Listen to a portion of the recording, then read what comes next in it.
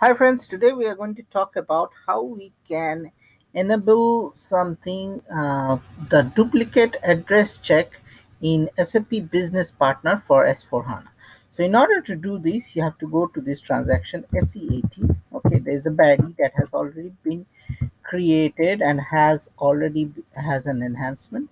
So this is the BAdI name address search and here you go to enhancement implementation okay and you click on display and this is the BAdI that you have to activate okay?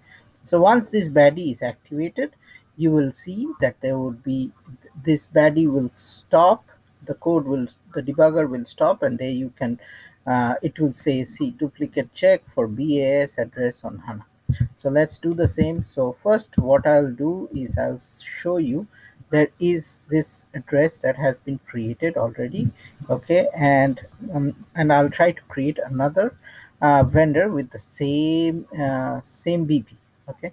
Uh, same address. So I'll go I'll create a new session and I go to BP and I click create organization and here uh, we will say click create organization and then we'll put Arghadip here and here we will put this and I'll put Houston. I put the country okay?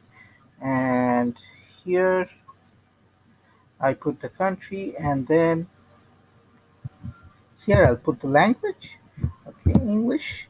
And we'll just match it whether it matches exactly like what it is there. So it's the address match that is happening. So if you see uh, I have this US CST I don't have the region so I will not take the region. I'll take the region off. And here I hit the uh, session thing and here you can see the debugger stops okay? And if I click on execute okay?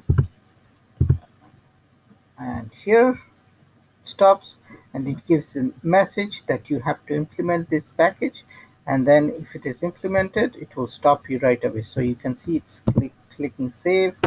It's not doing anything so it stops you.